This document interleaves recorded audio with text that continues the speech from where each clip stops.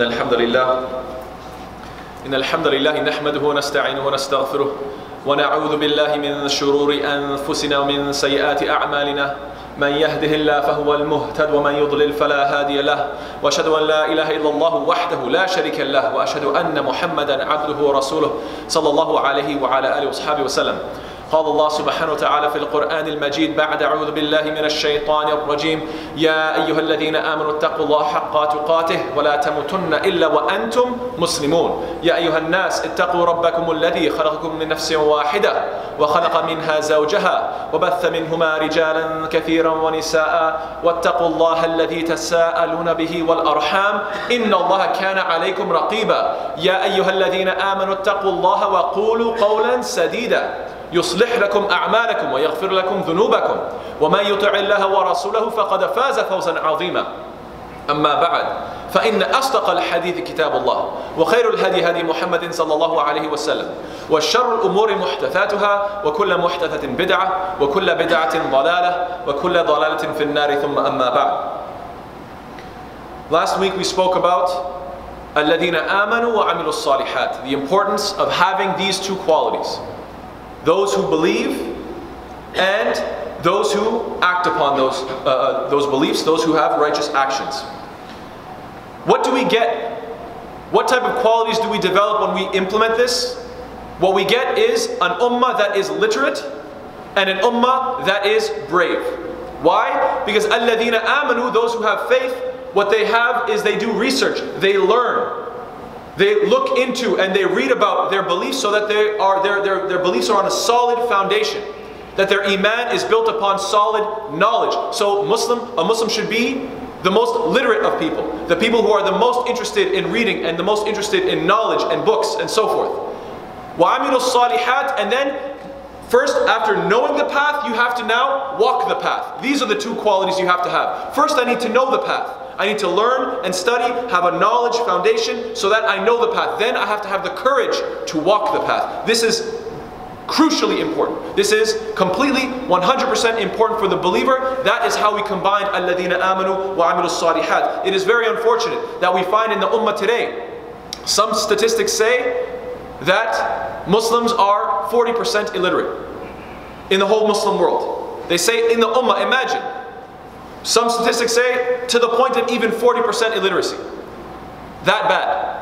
And I would even add to that that of the Muslims that are literate, alhamdulillah, those of us who are blessed with the ability to read and maybe even in multiple langu- languages, alhamdulillah, unfortunately you find even those Muslims that have such a blessing don't use that blessing. They, they let it sit on the shelf. What would they rather do? Drown themselves in entertainment. Glued to the screen.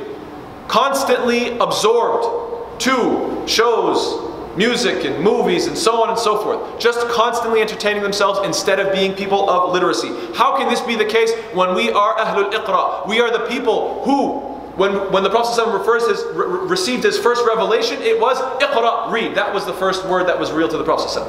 This is the quality that the Ummah should possess.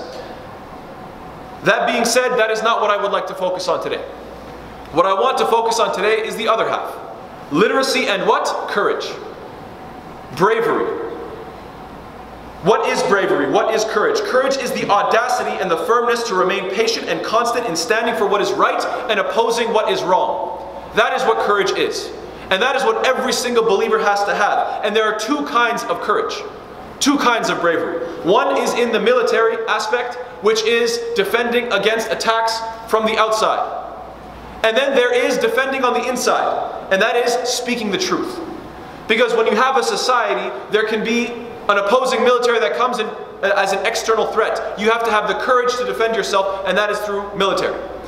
However, on the inside of that society, there might be evil ideas that get spread. Lots of terrible trends and ideas and and the best way to defend against these bad ideas is to offer alternative ideas, to demonstrate through words that you can expose the evils of those ideas and demonstrate what the truth is. And that requires courage to stand up and speak the truth in front of an audience, even if they don't want to hear it. That requires courage. So, when it comes to the first kind of bravery, the bravery in the battlefield, ash-shaja'a al-harbiyya, as is known in the Arabic language, We know that, the, uh, that Ali radiallahu anhu, he narrates what? لَقَدْ رَأَيْتُنَا يَوْمَ بَدْرٍ وَنَحْنُ نَلُوذُ بِرَسُولِ اللَّهِ صلى الله عليه وسلم وهو أقربنا إلى العدو وكان من أشد الناس يومئذ بأسا We were taking protection around the Prophet ﷺ on the day of Badr. Why? Because he was the one who was the closest to the enemy and also the toughest against them. That the Prophet ﷺ demonstrated the most bravery, this, is, this was the quality, this was the legacy. When we say that we want to be upon the sunnah of the Prophet ﷺ, we need to recognize that bravery is a crucial uh, quality and characteristic of the Prophet ﷺ. In fact, Anas radiallahu ta'ala anhu, he said, كان النبي صلى الله عليه وسلم أحسن الناس وأجود الناس وأشجع الناس that the Prophet ﷺ was the most beautiful was the, was the most beautiful of people and also ajwad al-nas, the most generous of people, and ashja' al-nas, the most brave. And then he goes on to narrate a, a beautiful narration, which is mentioned in Sahih Bukhari, where the people of Medina, they heard this loud clamoring, some sort of a noise, and they didn't know what that noise was. And so it was nighttime, it was dark. People started to get up and started to move towards that noise, trying to figure out what's happening. They weren't sure if perhaps the city was under attack. They didn't know what to think. And as they get closer to the noise, they see that the Prophet ﷺ is coming on a horse, and he's already coming back from whatever it was. He's already on his way back. And he's telling the people, don't worry, it's okay. It was just a horse that had gotten loose and that went a little crazy and started kicking things and you know it started making lots of noise. It was just a horse and now we're taking care of it. So subhanAllah, by the time that the people started to get themselves ready and muster the courage to go see what's happening in the middle of the night, in the middle of the dark, they find that the Prophet has already gotten up, already gotten on a horse with no saddle, rode out, checked what the problem was, discovered what the problem was, came back, let the people know what was happening. This is the bravery of the Prophet. You want to follow the sunnah of the Prophet? Ask yourself when there is a something of danger, when there is some sort of fear, are you the first to get up and go check it out? Are you the first to put yourself on the line to defend those who are behind? Is this your quality or not? This is how we want to implement the sunnah of the Prophet When it comes to ash-shaja'a al-adabiyya, bravery of character, not from the enemy on the outside, but rather from the evils on the inside. The bravery and the courage to speak the truth, even if the people don't like it. We see that Allah subhanahu wa ta'ala says and informs us in the Quran what? وَلَا تَكْتُمُوا, وَلَا تَكْتُمُوا الشَّهَادَةِ don't conceal your testimony. This ayah is in reference to court, but it can be applied generally as well. That when you know you have to speak the truth, when you know what the right thing is, and when you know when your words will be of benefit, don't be intimidated. Don't be afraid to speak the truth and to let everybody know exactly what they need to hear. Don't conceal your testimony. You can't be that way. Why? Because Allah commands you to have the courage to speak the truth. And the Prophet ﷺ says, من رأى منكم منكرا فليغيره بيده وإن لم يستطيع فبلسانه وإن لم يستطيع فبقلبه وذلك أضعف الإيمان. Famous hadith in Sahih Muslim. The Prophet ﷺ says what? He who amongst you sees something that is evil should change it with his hand. That is referring to the first kind of bravery. And if you cannot do that, then change it with your tongue. Speak against it. That is the second kind of bravery. And if you cannot do that, then at least hate it in your heart, and that is the weakest of faith. Nobody wants to be characterized as the weakest. Nobody wakes up in the morning and says to themselves, you know what I want to be? I want to be the weakest in life. That is not an admirable position. What we want is to be the best. We want to aim high in life. So what does that mean? You, that means you have to develop the courage and the bravery when you see something evil that you jump into action and you try to stop it. You try to stop that evil from taking place. And if for whatever reason you are incapable of doing so, then at least, at the very least, don't be afraid of speaking the truth. This doesn't mean that you have to be harsh. This doesn't mean that you have to be rude. It means that you have to be brave and you have to be intelligent, not run by emotions. Not overcome by passions and just blurting out whatever comes to mind, but thinking before you talk. Considering the best words, but indeed speaking, saying what is true. The Prophet ﷺ says, أفضل الجهاد كلمة عدل عند سلطان جائر That the best type of struggle, the best type of struggle for the sake of Allah is what? A, a, a just word, a true word in front of an unjust tyrant, an evil ruler. Why is that the case? Because everyone knows that the evil ruler can simply just do a quick flick of the hand and you will be taken care of. You will disappear and no one will ever see you again. So how much bravery does it take to speak that truth? This is what our deen teaches us. And if that is the case when it comes to an unjust ruler, then what about within our own families? What about within our own communities? What about within the masjid and amongst our friends? How is it possible that we can be so cowardly not to speak to our own friends and give advice when necessary? How is it possible that we don't possess that courage if we are supposed to be the ummah that listens to the Prophet and implements this even in the scariest of scenarios? We need to really assess this, this, this reality. The Prophet ﷺ also says in uh, Sahih ibn Hibban, قُلِ الْحَقْ وَلَوْ كَانَ مُرًّا Speak the truth even if it's bitter. It's not a popularity contest. In life, you can't please everybody. That will never be the case. You can never make everybody happy. You need to drop that idea, drop that as a goal because you will never achieve that goal. You need to realize that the only person that is deserved, that is that is worthy of being pleased is Allah subhanahu wa ta'ala. So I'm going to speak the truth whether you like it or not. I'm going to speak the truth even if it is bitter. Those who love it can love it. Those who hate it can hate it. And I do not fear the blame of the blamers.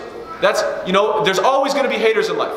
There's always going to be those people who are critical no matter what you do. Some people, they get up in the morning, they only have one intention. How can I be critical of anybody trying to do something good? Some people, that's, that's, that's their only fuel.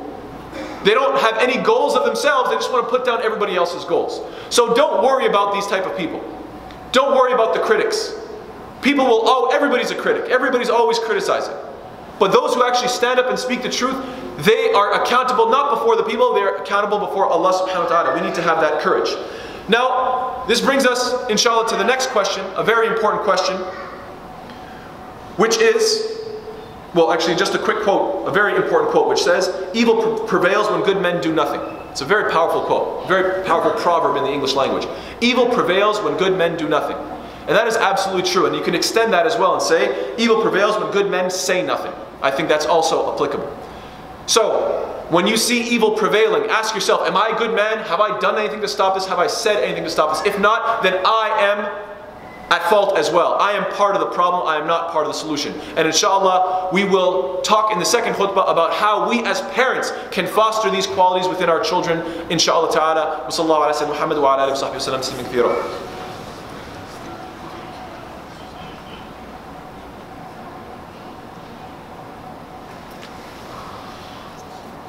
Bismillah, alhamdulillah, wa salatu wa salam ala rasulillah. Fostering courage, developing and nurturing courage and bravery in our children is a necessity amongst all of us as parents. It is our duty. Now, I did start by talking about the importance of education and courage. And I just think it's very important to note that when it comes to education, every parent is so adamant Every parent, alhamdulillah, loves to foster education in their children. That's a natural quality, and it's a beautiful quality to constantly push your children in terms of education. Unfortunately, you don't find the pairing of the two. What you find is a bit of an imbalance. You want them to be knowledgeable, but when it comes to encouraging your children to be tough and pushing your children towards toughness and bravery, you find that most parents, they pull back. Why? Because they don't want their precious little angel to get a bruise.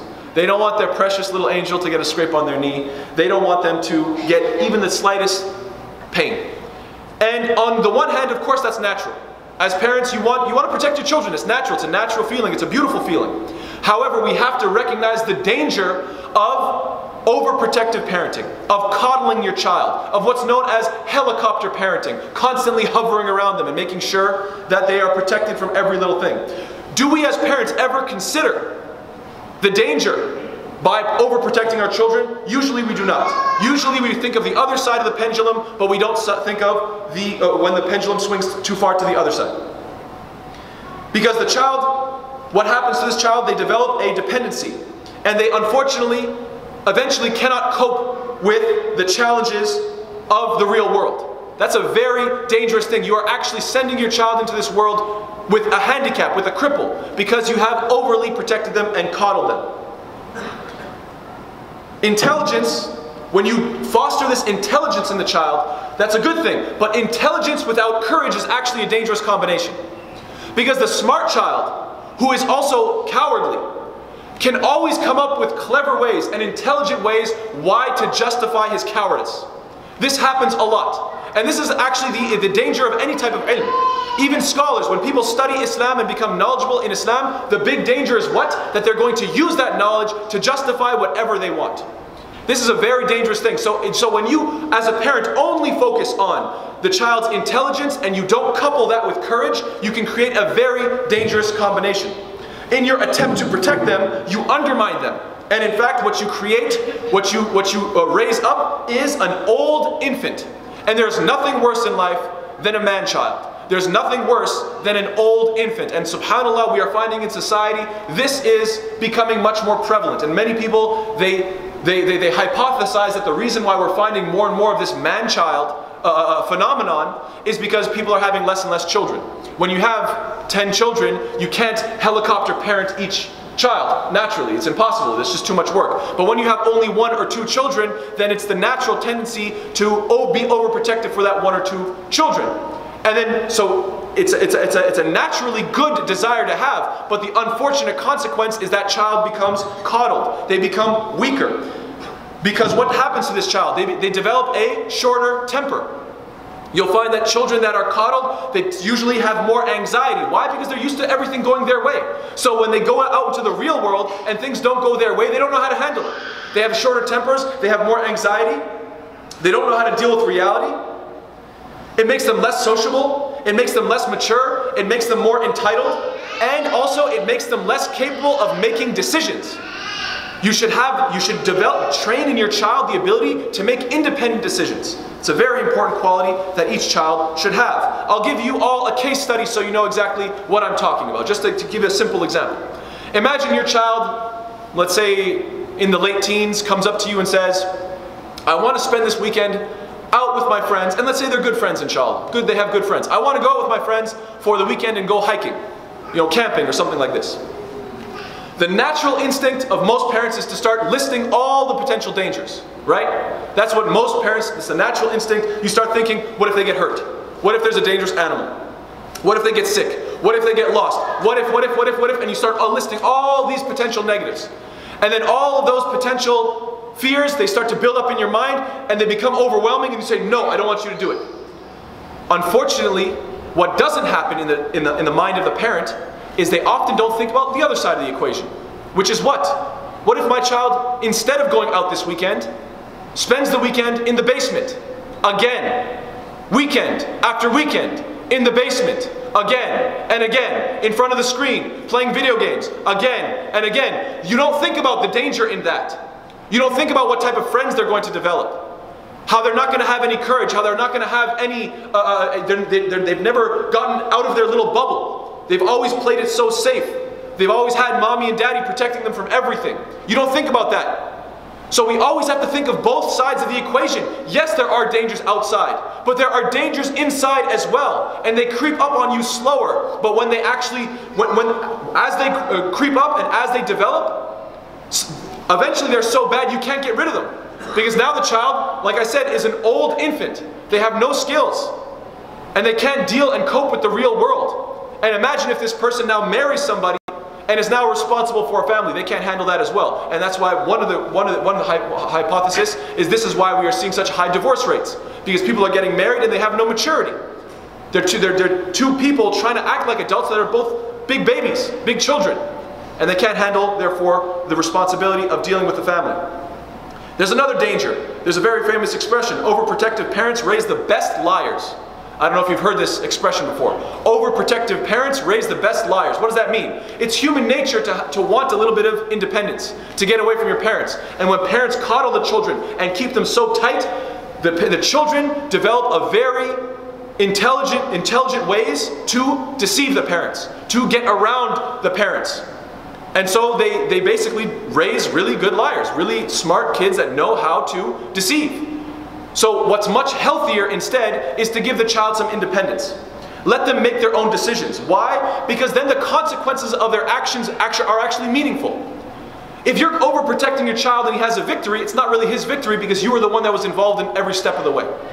And if he has a failure, it's not really his failure because you were involved every step of the way. However, if you give that child some independence, now when that child has a victory, it means something. That was your victory.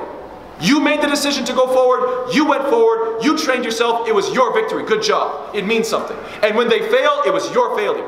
Why? I let you make your own decision. You went forward, you tried it out, you failed, you can learn from that failure. So independence has its benefits, but if you take that, if you rob the child of that independence, the victories are meaningless, the failures are meaningless, they never develop, they just remain big babies. How can we foster this courage within our children? As parents, if you're wondering, well, how can I foster these qualities? There's a few ways, perhaps four ways we'll talk about. Number one, train them. Train your children. Why? Because the more you train your child, the more confidence they will have. Obviously, if you're put into a situation that you have no knowledge of, you will feel very intimidated. But if you train for that moment, just to say, you know, going into battle, if you trained, if you're a trained warrior, now when you go into battle, you have confidence. So you should physically train your child so that if they ever do have a physical confrontation, they have the confidence to defend themselves. If they are ever in a verbal spat, if they ever have to defend themselves mentally, they know how to defend their beliefs and defend their views. Why? Because you've mentally trained them, you made them intelligent. And also financially, you've taught them to be financially smart, good with money, so that when a rainy day comes, they are ready for that. Train them. Train your children. That will, inshallah, foster and develop courage. Allah subhanahu wa ta'ala tells us in the Quran, وَأَعِدُّ لَهُمْ مَسْتَطَعْتُم مِّن قُوَّةٍ And prepare against whatever, uh, prepare against them whatever you can of your quwwah, of your power. In other words, Allah is teaching us what? Always be ready. Prepare yourself in case of any sort of uh, danger. And this is particularly speaking about militarily, but it applies generally as well. The Prophet says, Al-mu'minu al-qawi khayrun wa ahabbu ila Allah min al-mu'minu al-da'if wa fi kullin khayr. That the strong believer is better and more beloved to Allah than the weak believer, and in both of them there is good. The Prophet is telling us, be strong. Develop your strength. Why? Because it will develop that courage as well. Number two, knowing the consequences, knowing the consequences of not being brave. Because we know that evil will continuously spread and that evil will eventually affect you. Allah subhanahu wa ta'ala says, وَمَنْ لَمْ يَحْكُمْ بِمَا أَنزَلَ اللَّهِ فَأُولَٰئِكَ هم الظالمون in one ayah, أولئك هم الفاسقون in another ayah, and kafirun in another ayah. Allah says what? That and whoever does not judge by what Allah has revealed, then it is those people who are the wrongdoers, those who are defiantly disobedient, what, what is this talking about? This is mentioning the fact that, subhanAllah, the more that you let evil become widespread and you never stop it and you never try to implement Allah's guidance and revelation, that evil will become so widespread that it'll eventually harm you. So, even out of your own self interest, you have to speak the truth and you have to be courageous. Number three, train them through generosity. Imam al-Dhahabi, he says, rahimahullah, he has a very famous, a very beautiful quote. He says, الشجاعة والسخاء أخوان فمن لم يجد بماله فلن يجود بنفسه That bravery and generosity are brothers, as in they're related. Bravery and generosity, they're connected. They have a relationship with one another. Whoever isn't generous with money won't be generous with himself. In other words, you have to train yourself to be generous with your money. And then, inshallah, you'll have the bravery when the time comes to be generous with even your own self. If you never train yourself to be generous with your money, what chance is there that you're actually going to put yourself on the line? You weren't even willing to put $5 on the line. You're going to now put yourself on the line? Impossible. So, train ourselves, train our children to be brave through training them to be generous. And fourthly, Remember that ultimately your reward is with Allah subhanahu wa ta'ala. Allah subhanahu wa ta'ala in Surah Nisa describes a situation where the believers are fighting against the disbelievers and that the believers are losing heart. And they're thinking to themselves that, you know, we're injured and we're hurting and things are difficult. And Allah reminds them, do not weaken. وَلَا تَهِنُوا فِي الْقَوْمِ do not weaken in your pursuit of the enemy. If you should be suffering, they are also suffering. But you expect from Allah that which they do not expect. So Allah is saying, look, in this dunya, sure, you might go through hardship. You might be brave and you might get injured because of it. You might be brave and you might suffer financially because of it. You might be brave and you might go through many consequences as a result of that. But guess what? Ultimately, your reward is with Allah subhanahu wa ta'ala. When you are faced with the enemy and both of you get hurt, and both of you uh, suffer any sort of consequences, it may be equal. It may, see, it may seem even, but it is not even because they are fighting fi sabilillah shaitan. You are fighting fi sabilillah. You have to know that ultimately your reward is with Allah subhanahu wa ta'ala. So, if we can try to always remember these uh, uh, four points to foster in our children, train them to get them ready for that danger, to get them ready for that, for that rainy day, that will make them uh, uh, courageous. Number two, knowing the consequences of, being, uh, uh, of not being brave, knowing that as a consequence, evil will be widespread and it will come back to you eventually anyhow. Number three, train them through being generous with their wealth, and inshallah, they will be ready when the time comes to be generous with themselves as well. And number four, that knowing that your reward is ultimately with Allah subhanahu wa ta'ala. And I want to remind everybody of a very beautiful quote. Some say it's from Aristotle. I don't know the, the authenticity of that, but it's a nice quote anyhow. It's a nice quote that says, Courage is the midpoint between cowardice and recklessness.